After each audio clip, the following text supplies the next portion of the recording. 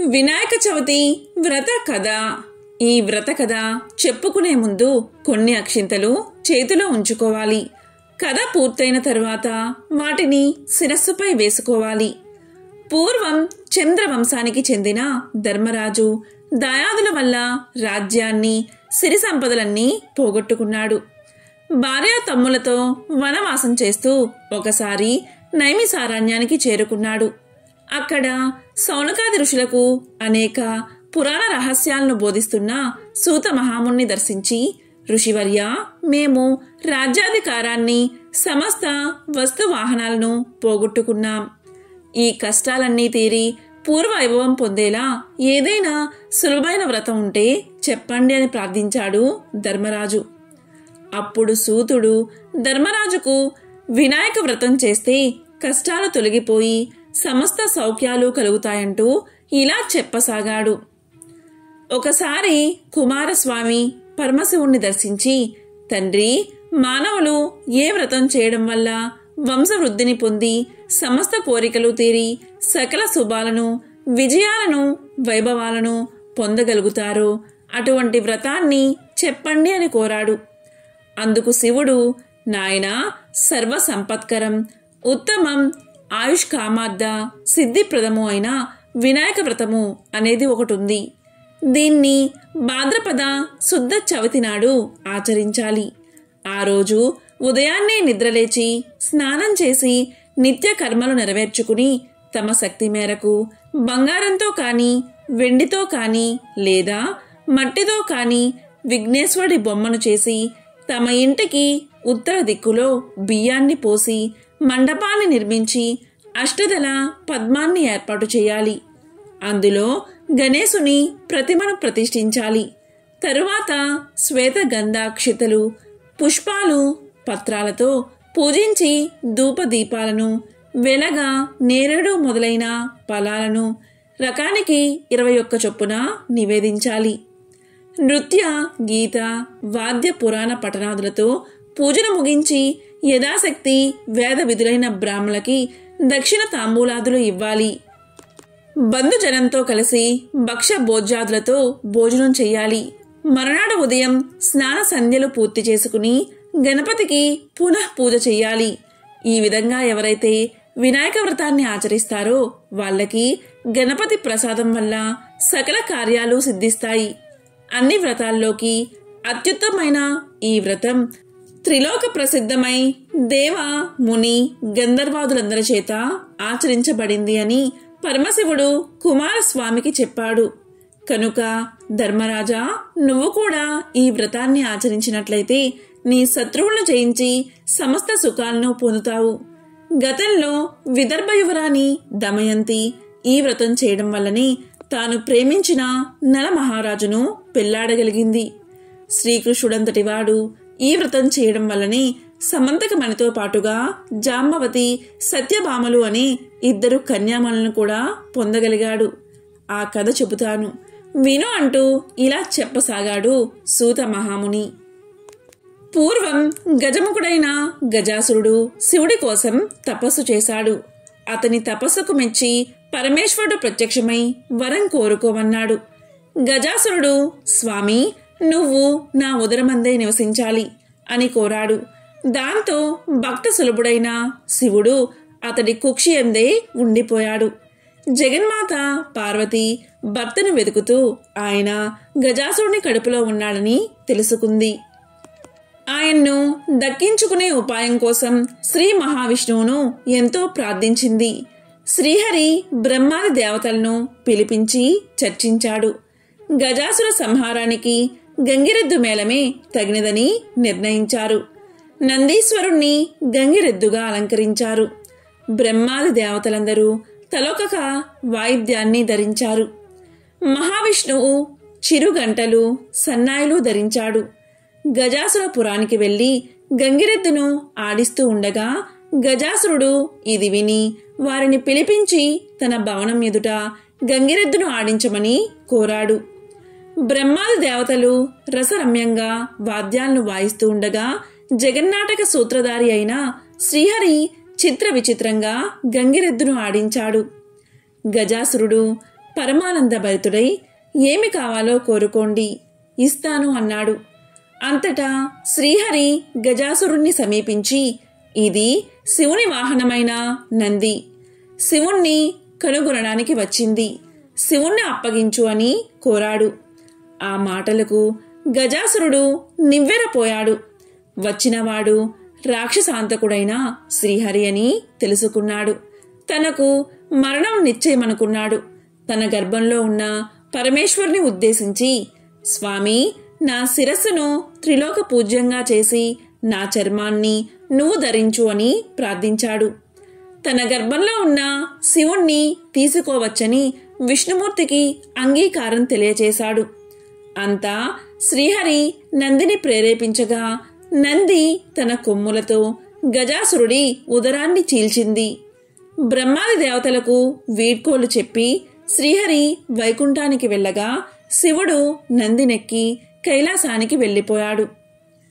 తన భక్తుడైన గజాసుడి కోరిక మేరకు అతడి ఉదరంలో ఉన్న పరమేశ్వరుడికి శ్రీ మహావిష్ణువు విముక్తి కల్పించడంతో భర్త రాకకు పార్వతి కైలాసంలో ఎదురుచూస్తుంది. శివుడు కోసం ఎదురుచూస్తూ స్నానానికి సిద్ధపైంది స్నానానికి వెళుతూ దేహానికి నలుగు పిండిని అద్దుకుంది. పరధ్యానంలో ఆ పిండితోనే ఓ ప్రతిమను తయారు చేసింది. చూడముచ్చటైన ఆ బాలుడికి తండ్రి ఉపదేశించిన మంత్ర సాయంతో పార్వతీదేవి ప్రాణ ప్రతిష్ఠ చేసింది. దివ్య సుందరమైన ఆ బాలుణ్ణి వాకిట కాపలా ఉంచి తాను స్నానానికి వెళ్ళింది పార్వతీదేవి.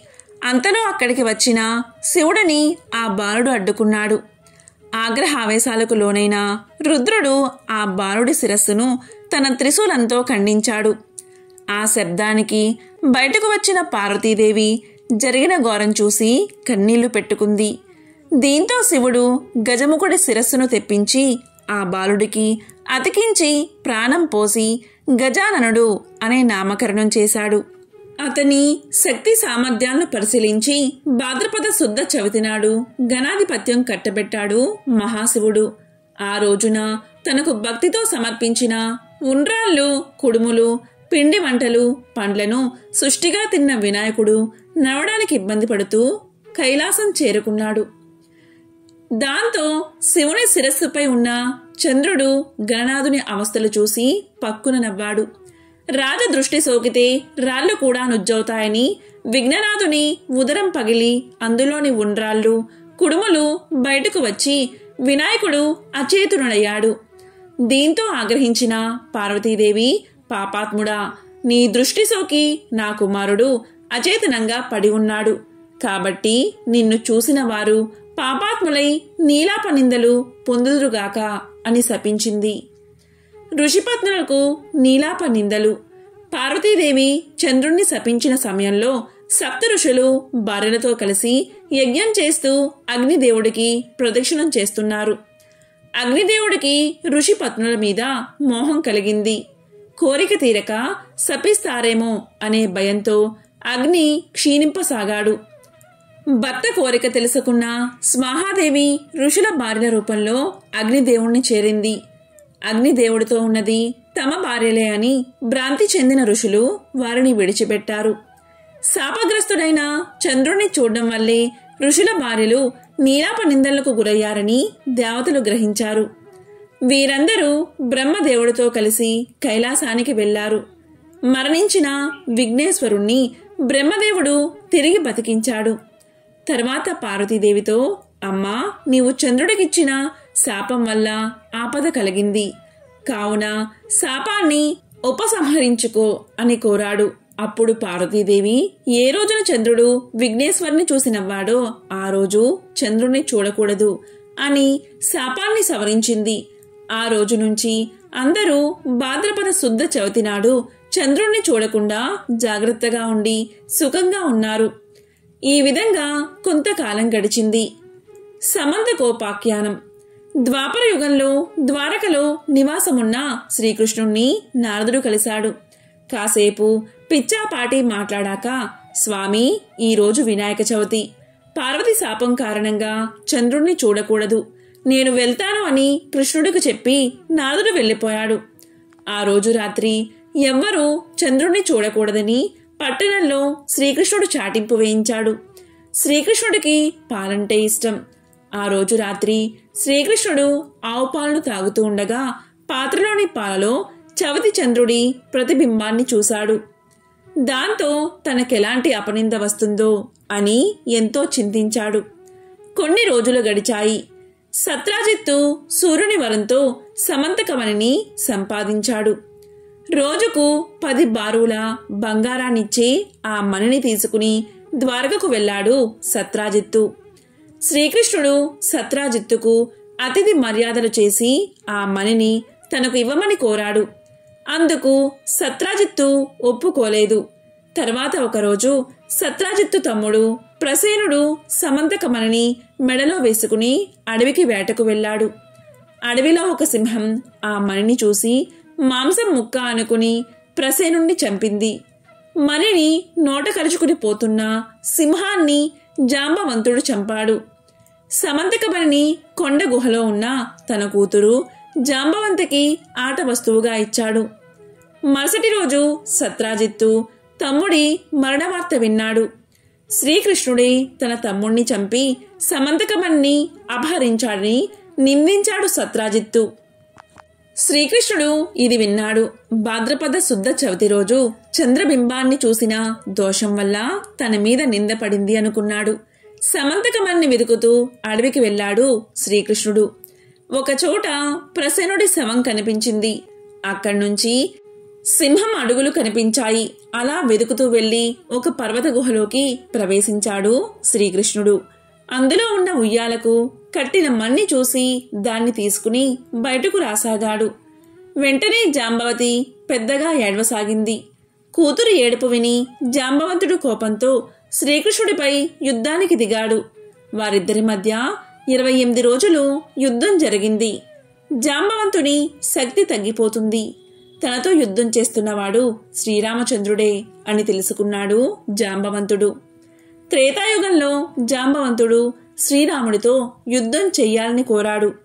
ఆ కోరికను ఇప్పుడు శ్రీకృష్ణుడి రూపంలో వచ్చి తీర్చాడని గ్రహించాడు జాంబవంతుడు. శ్రీకృష్ణుడికి నమస్కరించి సమంతకమణితో పాటు తన కుమార్తె అయిన జాంబవంతిని కూడా ఆయనకు సమర్పించాడు. శ్రీకృష్ణుడు సమంతకమణిని తెచ్చి సత్రాజిత్తుకు ఇచ్చాడు. నిజం తెలుసుకున్న సత్రాజిత్తు తన్ను క్షమించమని శ్రీకృష్ణుని వేడుకున్నాడు. తన కుమార్తె సత్యభామనిచ్చి వివాహం చేశాడు సత్రాజిత్తు. అలాగే సమంతకమణ్ణి కూడా శ్రీకృష్ణుడికి ఇచ్చాడు. ఆ సమయంలో అక్కడకు వచ్చిన మునులు శ్రీకృష్ణుడితో మీరు సమర్థులు. కనుక మీపై పడిన నిందను పోగొట్టుకోగలిగారు. మా వంటి వారికి ఏది గతి అని అడిగారు. అప్పుడు శ్రీకృష్ణుడు ఇలా పలికాడు. భాద్రపద శుద్ధ చవితి నాడు యథావిధిగా వినాయకుణ్ణి పూజించి ఈ సమంత కోపాఖ్యానాన్ని విని అక్షింతలు తలపై వేసుకున్న వారికి ఆ రోజు చంద్రదర్శనమైనా కూడా అపనిందలు కలగవు అని శ్రీకృష్ణుడు తెలియచేశాడు. ఆనాటి నుండి ప్రతి సంవత్సరం భాద్రపద శుద్ధ చవితి రోజు దేవతలు మహర్షులు మునులు తమ శక్తికి తగ్గట్లుగా గణపతిని పూజించి తమ కోరికలు తీర్చుకుంటున్నారు. ఈ కథను చదివి కాని విని కాని తలపై అక్షింతలు వేసుకుని వినాయక వ్రతాన్ని ముగించాలి. చివరగా వినాయకుని ఎదుట వీలైనన్ని గుంజీలు తీసి సాష్టాంగ నమస్కారాలు చేయాలి.